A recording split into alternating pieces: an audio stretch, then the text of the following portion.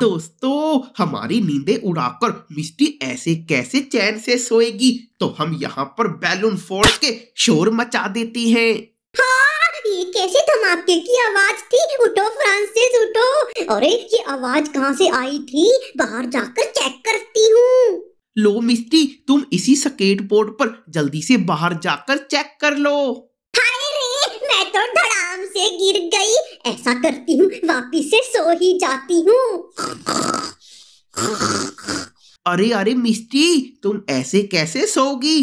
चलो अभी तुमको डरा देता हूँ। और ये फ्रांसिस अंकल बन गए स्केरी अंकल। हाँ, ये मिस्टर ने लात मारे मम्मी। म्यूज़िक